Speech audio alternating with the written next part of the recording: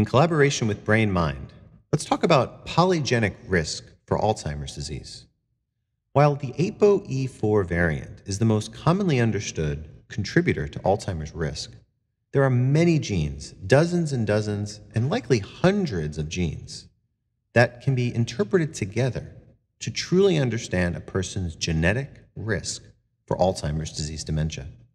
So, for example, when someone has an ApoE4 variant, that person may have a higher risk of Alzheimer's disease dementia later in life. However, what if that person also has a variety of other genes that decrease their risk? Protective longevity genes, other brain protective genes that maybe haven't been discovered yet. To truly understand a person's likelihood of developing the disease, you have to combine all of the genetic factors that we need to find, and then you also have to include the risk factors they have in everyday life, their medical comorbidities, their vascular risk factors, whether or not they've had environmental exposures. You take all of these considerations together to truly be able to risk stratify or give an accurate estimation or percentage chance of, of is that person truly going to get Alzheimer's disease? Now, let's focus more on polygenic risk. Polygenic risk is key for the future of Alzheimer's disease. But honestly, that future is now. If we can identify these genes and understand the individual biologic pathways that each gene may take to contribute to a person's Alzheimer's disease likelihood, then maybe we can intervene against that gene to reduce their risk. For example, next to the ApoE4 gene is a, another area called the TOMM40. TOMM40, depending on the chain length, will either increase or decrease that ApoE4 variant's risk on the person developing Alzheimer's. Then there's other genes in various other places. For example, we follow a family that has the ApoE4 variant throughout multiple family members, but also has multiple inflammatory genes. Inflammation can fast forward Alzheimer's disease pathology. One family, for example, has something called a TNF alpha gene that increases tumor necrosis factor and when in combination with the ApoE4 variant increases Alzheimer's risk by sixfold. So in that family, the ApoE4 variant is a very important clue in combination with this TNF alpha variant. If we can intervene against both ApoE across the variety of pharmacogenomic and nutrigenomic ways that we've talked about, we can also then intervene against this TNF alpha gene by using specific interventions that counteract the negative effects of TNF on Alzheimer's disease risk. For example, you may have heard about something called curcumin or turmeric. That's a supplement, but it's also an ingredient in food, in curry. It's a spice. And it has very powerful antioxidant properties that specifically may be preferentially effective in people with this TNF gene. So I bring this up as just one of the many, many hundreds of examples of how to truly understand a person's polygenic risk. We need to take a very deep dive. So, how do we do that? Well, in our research program and in our clinic, we can do a variety of different ways to understand a person's genetic risk across the entirety of their polygenome.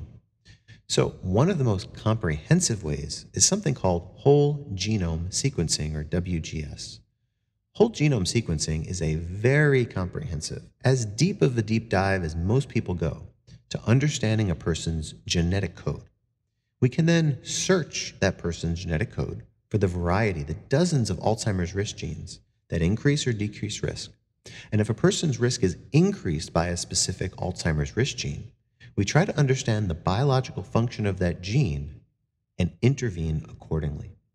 So, the take home point with polygenic risk is that to truly have the most state of the art, highly specified understanding of a person's risk from a genetic perspective, we need to look at all of the potential risk genes, and then we need to intervene accordingly when it comes to that person's individual risk.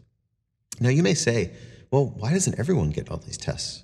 This sounds like a great idea. We can understand a person's genetic code, we can intervene. That's how we can truly prevent Alzheimer's disease. Well, the problem is is it's very tedious. It's labor intensive It takes a whole team of multi specialty experts, and it's costly. Now, the good news is about five, ten years ago, this would cost tens and tens of thousands of dollars, and then you'd need a highly experienced expert team, and it would take, you know, weeks, just weeks, to just understand one person's genetic risk and put together a plan. Nowadays, it's a little bit easier, but it's still challenging. Now it costs several thousands of dollars plus a smaller team. As an example, I'm a physician, I'm a neurologist by training, and I work with a neurogeneticist and a nurse practitioner. And the three of us in combination will review the genetic code, the genetic information that we get through whole genome sequencing or other forms of less expensive and less comprehensive genetic testing. And then we put together a plan. So if a person has a specific longevity gene, we can then know that their risk may be attenuated.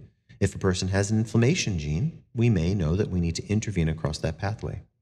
Another aspect that we find sometimes is something that's related to an infection. So, herpes, as one example, has been implicated as a potential causative agent in people developing Alzheimer's disease. Well, maybe people with that herpes specific gene that makes them more preferentially affected in a negative way due to the herpes virus, which is very common, ubiquitous. 80 to 90% of people, as an example, have the herpes simplex 1 virus. But if we can understand that a person, say, has an ApoE4 variant and has a herpes simplex gene that makes them more susceptible to the negative effects of the virus, then maybe those people need an antiviral agent against herpes to suppress the viral replication and thus suppress the inflammatory cascade and suppress the likelihood of amyloid, the pathologic protein that builds up in people's brains decades before symptoms. If we can attenuate that, we can then protect against, delay, or possibly prevent Alzheimer's disease. So, polygenic risk is very confusing. There's the polygenic risk score that we can calculate to understand a person's risk in a more precise way. But the future of Alzheimer's disease that we can honestly start doing now in most ways, but it's very labor intensive, is precision medicine, using a person's genes to personalize a plan, understanding their biology, understanding their cholesterol, their metabolism, their inflammatory markers, their nutritional markers, and then putting together multiple pieces of the puzzle to give a precise and in detailed plan.